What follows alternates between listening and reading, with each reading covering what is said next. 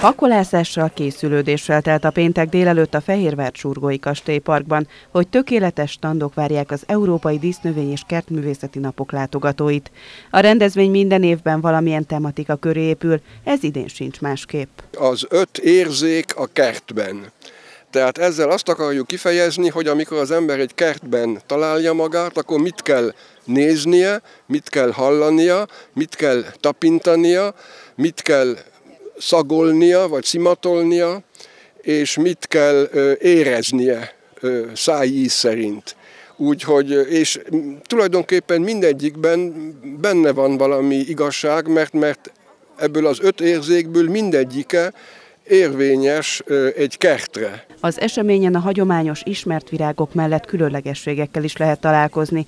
Húsevő növények, kaktuszok, színes tavirózsák mellett kertészeti eszközök, kerámiadíszek és egyedi vízköpők is helyet kaptak. Minden árus igyekezett látványos standot építeni.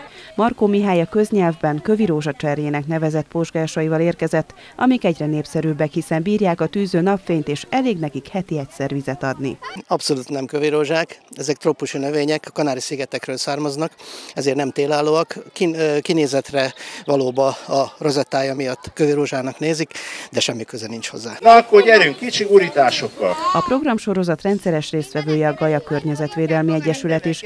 Az első nap mindig a gyerekekről szól, utána pedig hasznos tanácsokkal látják el a felnőtteket.